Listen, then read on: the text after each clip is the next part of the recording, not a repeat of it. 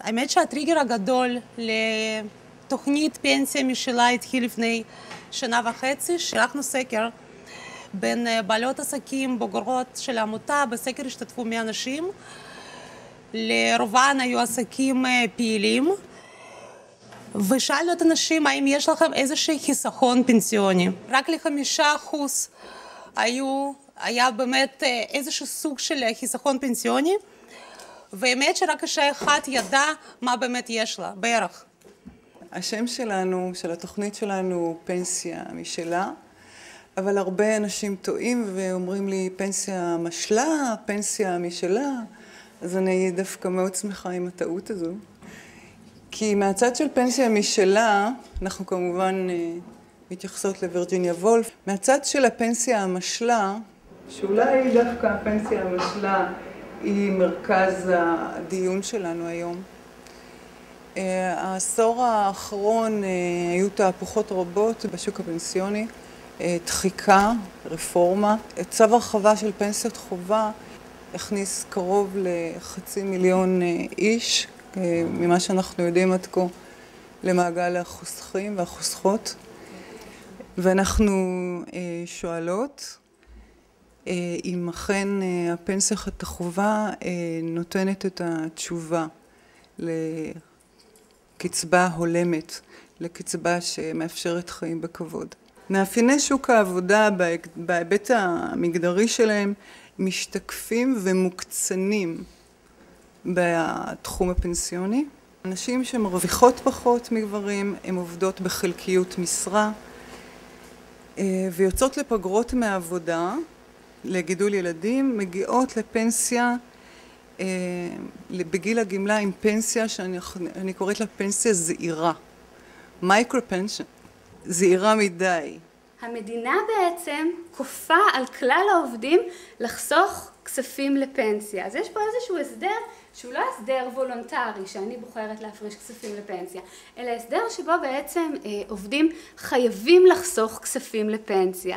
ויש בעיניי שאלה גדולה, האם באמת אפשר לכפות על עובדים לחסוך כספים לפנסיה מצד אחד, ומצד שני לא להבטיח הסדר שהוא שוויוני בין נשים לגברים. ויש פה גם שאלה אחרת של עד כמה באמת אנחנו מוכנים ללכת עם שיקולים כלכליים אקטואריים עד הסוף בצורה קרה, לא משנה לאן הם מובילים אותנו, כאשר בסופו של דבר המשמעות היא שהקצבה שלנו תלויה במין שלנו ובמצב המשפחתי שלנו. שתי הצעות אלטרנטיבות. אחד, שיהיה מינימום לתשלום פנסיה, להפרשות פנסיה, כמו שיש מינימום להפרשות ביטוח לאומי, כמו שיש מינימום לתשלום מס הכנסה, קוראים לזה סף המס. שיהיה סף הפנסיה. אם אמרתי שהכסף שבן אדם שמרוויח מעט כסף ומפריש לפנסיה. צריך להיות מבוטח, אני לא רואה הבדל גדול בינה ובין מי שמרוויחה חמשת אלפים לחודש או עשרת אלפים לחודש או עשרים אלף. הרעיון השני זה שה, המי, המי, המי, הממשלה תערוב לנו, אוי ואבוי, לפנסיה, כי אנחנו רוצים שהיא לא תתערב, אני רוצה שהיא תחזור ותתערב ותמצא דרך לערוב לפנסיה שלנו או בעצמה או דרך חברה אחרת. יש בעסקים עליות וירדות, יש מחזור עסקים, ואם את יוצאת לפנסיה כאשר זה בירידה, את יכולה לקבל הרבה פחות. והערבות הממשלתית או אחרת חייבת פה להבטיח שאישה אלמונית שיוצאת לפנסיה בשנה מסוימת לא מפסידה שליש מחסכונותיה בגלל איזה תנועה, בגלל המצב הכלכלי הארצי או העולמי. המחקר עסק בעצם בדברים שאמרתם, שאיך דפוסי העבודה של נשים במהלך החיים משפיעים על, על הפנסיה.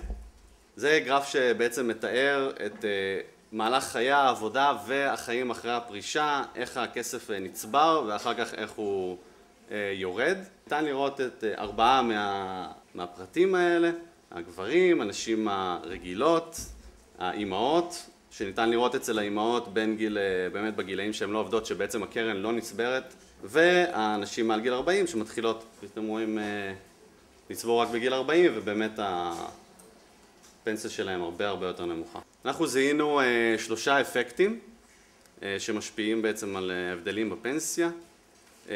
יש את פערי השכר המצטברים של נשים לעומת גברים, שלזה אנחנו קוראים אפקט ההכנסה. יש את תקופת הצבירה הקצרה יותר, שזה אנחנו קוראים אפקט הצבירה, ויש את הקיצור הנוסף בתקופת הצבירה בגלל טיפול בילדים, שלה אנחנו קוראים אפקט הילדים.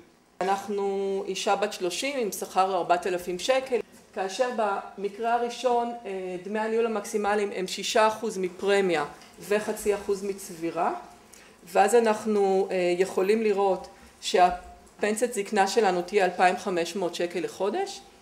במקרה השני, לאותה אישה, באותן הפרשות, באותה משכורת, דמי הניהול יהיו רק 2% מפרמיה ו-0.25% מהצבירה, והזקנה שלנו תהיה 2,700 שקל לחודש, שהפער הוא בערך 10% בפרמיה, שזה המון המון כסף, בייחוד למשכורות כאלו. אם בשנה הראשונה חסכנו 10,000 שקל, ייקחו דמי ניהול מ-10,000 שקל.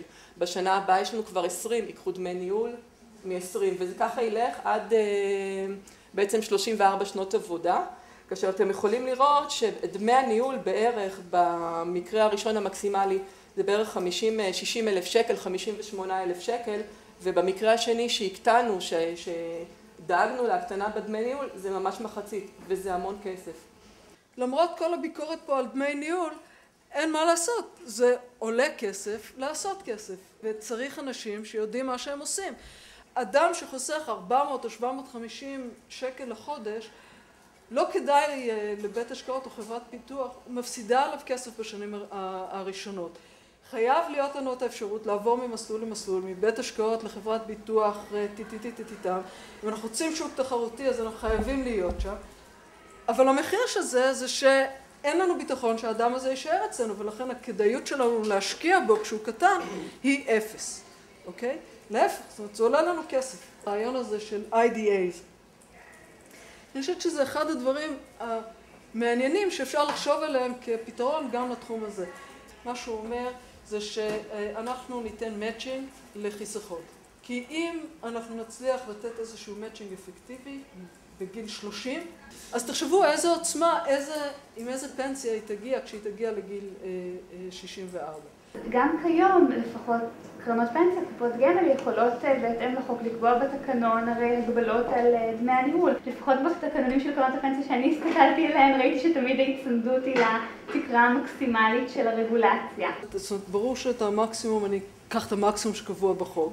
בגלל, לכאורה, בגלל אינטרס תחרותי, אם קרן פנסיה רוצה להתחרות. אבל זה מה שהיא עושה, אבל זה מה שהן עושות בפועל, כשהן הולכות לגוף גדול. הבעיה היא שעל הקהל הספציפי שאנחנו מדברים עליו, אין תחרות, אף אחד לא רוצה אותו. ההון הזה הוא רוב ההון של הציבור הישראלי, ההון שמושקע בפנסיה, ובוודאי רוב ההון שהוא בידי נשים, שקיים בכלל בידי נשים, מושקע בפנסיות. ומה קורה בשוק ההון שלנו? יש פער אדיר בין הרווח שמניבים ממנו בעלי שליטה בחברות, לבין הרווח שמניבים ממנו חוסכים, אפילו אם הם בחרו בגוף מוסדי גדול וחזק. אין שום התייחסות לצרכים האקטואריים הספציפיים של נשים, גם כשהולכים ועושים צעד כמו צו ההרחבה לפנסיה חובה. מה זה צו הרחבה? זאת תקנה ממשלתית שמרחיבה הסכם בין ארגוני המעסיקים לארגוני העובדים. מעסיקים ועובדים, לא במקרה. אלה לא ארגוני המעסיקות וארגוני העובדות. אין לנו לצערי עדיין ארגוני מעסיקות וארגוני עובדות. וההסכם לא לוקח בחשבון שאלות מגדריות בכלל. אנחנו מדברים כל הזמן על, על הגיל של סיום הפנסיה, האם צריך להשוות בין המינים, אבל אף אחד כמעט לא מדבר על מה שקורה בהתחלה.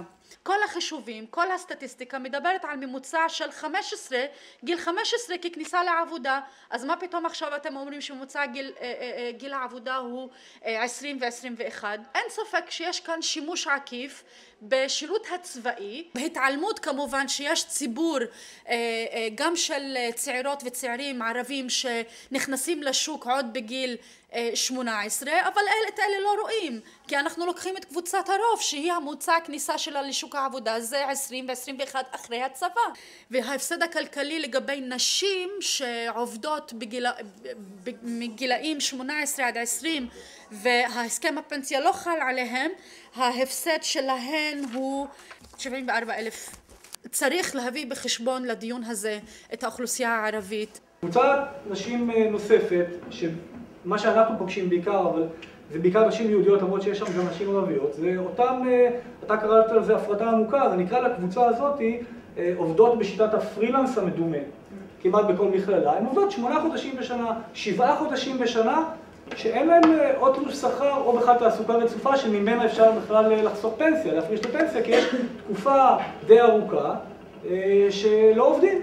פנסיה בסופו של דבר זה אחד מהמשימות המרכזיות של ארגון עובדים, צריך לבחור באופציה הזאת של ארגוני עובדים, להתאגד, להתארגן, להסתייע בארגוני העובדים ולנסות להשיג את הדרך מאבק חברתי משותף, את הזכויות. נושא נוסף שהוזכר פה גם היום זה המודל הצ'יליאני בעצם, שאומר איך מנוהלים כספי הפנסיה של אנשים בגילאים שונים. האם אנשים שנמצאים כבר קרוב או ממש בגיל הפרישה יכולים להרשות לעצמם ניהול בשוק ההון שחלק גדול ממנו מושקע במניות או באג"ח קונצרניות שחשופות לתנודות שוק ההון כשאנשים האלה כבר צריכים אוטוטו לחיות מכספי הפנסיה ואם פתאום יהיה משבר בשוק ההון האנשים האלה לא יהיה להם איך לגמור את החודש.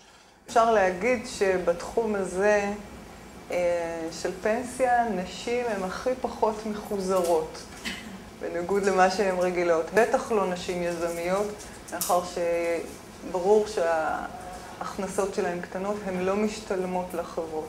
וזה הוביל אותנו להתאגד ולנסות לייצג את כלל היזמיות למול החברות. ולכן היום עיון הזה שהוא מבחינתנו ראשון, ויהיו עוד, הוא גם קריאה לארגונים לעשות ביחד, לפעול כך שנוכל לעשות לשינוי בתחום של פנסיה בכלל. שמחנו לגלות ארגונים ויוזמות נוספות בנושא, והיום בעצם הוא פעם הראשונה שאנחנו מעלות את הנושא ויוצאות החוצה, והפעם אנחנו לא לבד, אנחנו עם השותפים. יאללה, תודה רבה.